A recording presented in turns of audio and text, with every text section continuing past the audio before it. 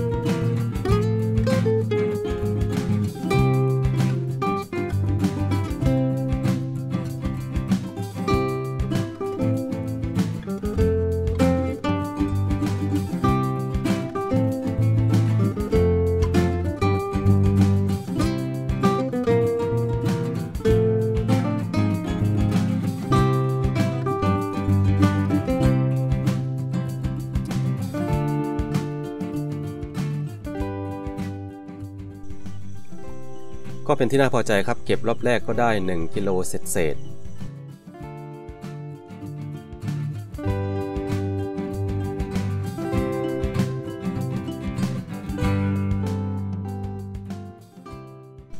แต่คลิปนี้ยังไม่ลงรายละเอียดมากนะครับ เพียงแต่ผมจะอธิบายให้ฟังคร่าวๆก่อน วัสดุหลักที่ผมใช้กับเห็ดฟางในกระถางไม้ไผ่นี่เนี่ยก็จะเป็นหลักๆเลยก็จะเป็นฟางข้าวแล้วก็ต้นกล้วย แล้วก็จะมีรำหยาบบวกกับปุ๋ยคอกเก่า ทดลองเพาะไว้กินเองนะครับ ก็ลงทุนไม่ถึง 200 บาท ก้อนเชื้อเห็ดก็ 5 ก้อนก็ไม่ถึง 200 บาท แล้วก็รำหยาบซื้อมากระสอบหนึ่งเอาไปทำปุ๋ยหมักด้วย แบ่งมาเพาะเห็ดนิดๆหน่อยๆก็ทำไว้กินเองเรื่อยๆนะครับ แต่ว่าผมจะทำอีกคลิปหนึ่งที่ว่าขั้นตอนการทำแบบละเอียดเลย ตั้งแต่เริ่มทำจนกระทั่งเห็ดออก ไม่เกิน 10 วัน แต่ว่าคลิปนี้เนี่ยผมจะเล่าวิธีการคร่าวๆให้ฟังก่อน สำหรับคนที่พอเข้าใจแล้วนะครับ ก็ลองหาสั่งซื้อก้อนเชื้อเห็ดมาทำดู ที่เห็นเป็นกระถางไม้ไผ่เนี่ยเรียกว่ากระถางไม้ไผ่ก็แล้วกันนะ เพราะว่าผมทำติดกับพื้นเลย ก็จะนำไม้ไผ่มาปักเป็นกระถางวงกลมแบบนี้เลย กว้าง 1 เมตร ผมปักห่างกัน 3-4 นิ้ว สูงประมาณ 50 เซนพอดีผมปลูกไผ่อยู่แล้วนะครับ เสร็จแล้วเนี่ยผมก็จะนำฟางมาแช่น้ำไว้ 2-3 คืนนั่นแหละจำไม่ได้ ตามจริงว่าจะแช่1คืน แต่มันยังไม่อ่อนตัวพอก็เลยแช่ 3 คืน จากนั้นก็จะนำต้นกล้วยมาหั่นเป็นชิ้นเล็กๆนะครับไม่ตากแห้งนะ เสร็จแล้วก็นำก้อนเชื้อเห็ดเนี่ยมายีผสมกัน มาผสมมีรำละเอียดด้วยมีปุ๋ยข้อเก่าด้วย ก็คือก้อนเชื้อเห็ด1ก้อนเนี่ยผมจะเอาต้นกล้วยสับ หั่นบางๆเนี่ยให้ได้สัก 1 กิโลกรัม ก้อนเชื้อเห็ด1ก้อน ยีแล้วนะครับมาผสมกับต้นกล้วยสับ 1 กิโลกรัมรำหยาบ 1กำมือ ปุ๋ยคอกเก่า 1กำมือ เอาผสมรวมกัน จะเป็นสูตร อาหารเสริมเชื้อเห็ดผสมกับก้อนเชื้อเห็ดนั่นแหละ เป็นสูตรอาหารเสริมของเห็ด ส่วนอาหารหลักก็จะมีฟางข้าวอย่างเดียว ผมทำแบบไม่ได้ตากแห้งนะต้นกล้วยสับนะขั้นแรกเลยก็เมื่อเราปักคอกปักกระถางไม้ไผ่แล้วเนี่ยเหมือนในภาพนี้แหละ ในชั้นแรกเนี่ยผมจะปูฟางบาง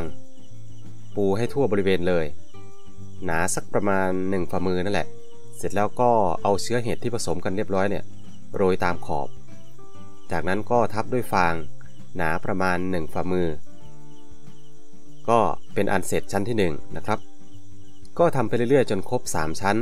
3-4 ชั้นนี่แหละ แต่พอถึงชั้นสุดท้ายเนี่ยก็จะโรยเชื้อเห็ดเนี่ยทั่วบริเวณเลย และจะปิดท้ายด้วยฟางบางๆ หนาสักประมาณ 2 นิ้วมือนะครับ เสร็จแล้วก็รดน้ำตามหนึ่งบัวรดน้ำคลุมด้วยพลาสติกใสก่อน จากนั้นก็คลุมทับด้วยสแลนกรองแสง ที่ผมใช้จะเป็นทั้งผ้ายางทึบแล้วก็สแลนกรองแสงสีน้ำเงิน แค่นี้เองครับการทำเห็ดฟาง พอครบ 4 วันเนี่ยผมก็จะเปิดให้อากาศออก คือไล่ก๊าซคาร์บอนไดออกไซด์ออก ไม่ได้ตัดใยไม่ได้ลดน้ำนะครับ 4 วันเนี่ย เสร็จแล้วก็ปิดไว้เหมือนเดิม พอครบ 10 วันเนี่ยเปิดออกมาเก็บเห็ดกินได้เลย เหมือนในคลิปนี้แหละ ที่ผมถ่ายคลิปนี้ก็คือครบ 10 วันพอดี พอเก็บเสร็จก็จะรดน้ำบางๆนะครับ ไม่ได้รดเยอะ เพื่อให้ฟางข้าวเนี่ยมีความชื้นนิดหน่อย แล้วก็ปิดไว้เหมือนเดิม ก็น่าจะเก็บได้หลายรุ่นนะครับ อันนี้เพิ่งเก็บรุ่นแรกที่ทำคลิปนี้ให้ดูเนี่ย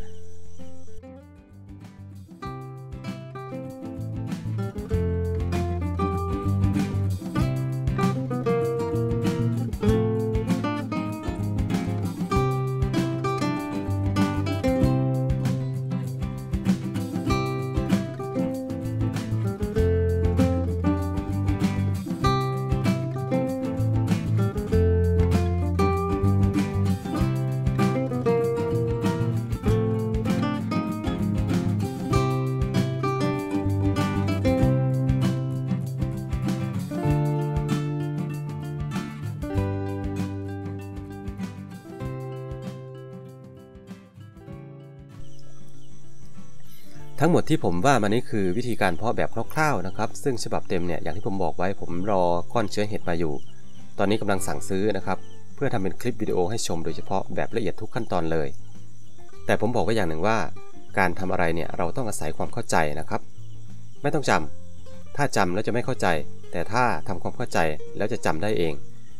อย่างในคลิปนี้การเพาะเห็ดฟางเนี่ยที่ผมเล่าให้ฟังคร่าวๆเนี่ยไม่มีขั้นตอนอะไรมากมายเนี่ยเพียงให้คุณตั้งคำถามนะครับว่าทำไม คำเดียวตั้งคำถามว่าทำไมทำไมต้องแช่ฟางก่อนทำไมต้องใส่ฟางข้าวทำไมต้องใส่ต้นกล้วยสับ ไม่ใส่ได้ไหมทำไมต้องรดน้ำทำไมต้องคลุมผ้ายาง หลังคลุมผ้ายางแล้วทำไมต้องคลุมสแลนทับอีกชั้น เดี๋ยวผมจะไขคำถามให้ฟังเป็นข้อๆกันแล้วกันนะครับคำถามที่ 1ทำไมต้องแช่ฟางก่อน อันที่จริงเนี่ยถ้าเราไม่มีการแช่ฟางหรือว่าฟางแห้งมาเชื้อเห็ดโรยเนี่ยเห็ดไม่ออกหรอกครับ เพราะว่า การแช่ฟางเนี่ยหนึ่งทำให้ฟางอ่อนตัว แล้วก็เชื้อราเดินได้ง่าย เห็ดคือเชื้อราที่กินได้นะครับ เชื้อราสามารถเดินเส้นใหญ่ได้ง่าย เชื้อราพวกนี้ต้องการความชื้นถูกไหมครับ เหมือนหน้าฝนเนี่ยเราจะเห็นเห็ดฟางเกิดตามกองฟางเกิดเองก็มี เพราะมันมีความชื้นและมีอุณหภูมิที่ได้ นี่คือเหตุผลที่ทำไมต้องแช่ฟางก่อน เพื่อให้ฟางอ่อนตัว เชื้อราเห็ดเนี่ยเดินเส้นใยได้ง่าย หรือเดินเส้นใยได้ ถ้าฟางแห้งเดินไม่ได้แน่นอน ไม่มีความชื้นนะครับคำถามข้อที่ 2ทำไมต้องใส่ฟางข้าวทำไมต้องใส่ต้นกล้วยหั่น ฟางข้าวและต้นกล้วยหั่นเนี่ยเป็นอาหารหลัก หรืออาหารเสริมของเห็ดฟาง ถ้าเราไม่มีเราใช้เปลือกถั่ว เราใช้กากมันสับปะหลัง แทนก็ได้นะครับ เราใช้ผักตบชวาจอกแหนก็ได้ หรือเราเอาทุกอย่างมารวมกันเพื่อเป็นอาหารหลักของเห็ดฟาง ก็ได้ในการเพาะเห็ดฟางนะครับ เพราะว่าเห็ดฟางเนี่ยเขามักเกิดกับวัสดุเพาะ ประเภทนี้นั่นเองนะครับ แล้วทำไมต้องรดน้ำในเมื่อเราทำเป็นชั้นๆ แล้วเนี่ยทำไมต้องรดน้ำตามด้วย การรดน้ำเพื่อให้เกิดความชื้นที่เหมาะสมในการขยายเส้นใยของเชื้อราเห็ดนั่นเอง ถ้ามีความชื้นราเดินนะครับ ถ้าไม่มีความชื้นเชื้อราไม่เดินคำถามอีกข้อหนึ่งก็คือทำไมต้องคลุมผ้ายาง ไม่คลุมได้ไหม ไม่คลุมก็ได้ครับ ถ้าเราเอาฟางมากองรวมกันเนี่ยเอาเอาเชื้อเห็ดมาใส่ลงไป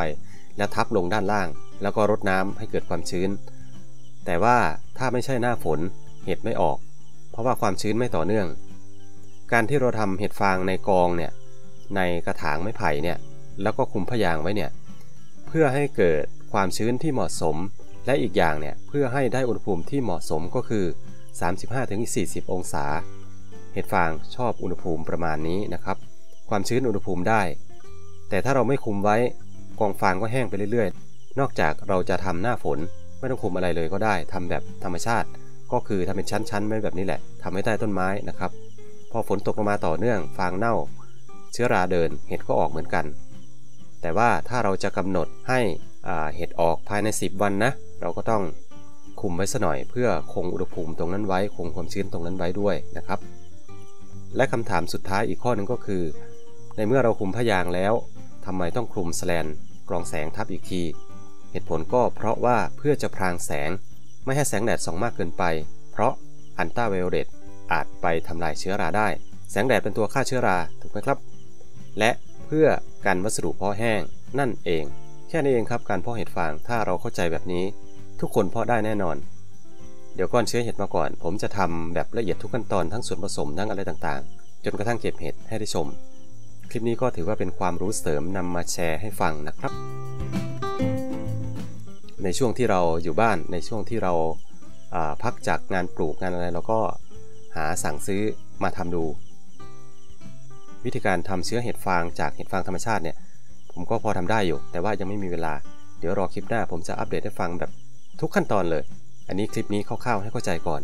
โอเคก็หวังว่าคลิปนี้น่าจะมีประโยชน์อยู่บ้างนะครับ ขอบคุณทุกท่านที่รับชมตั้งแต่ต้นจนจบ สวัสดีครับ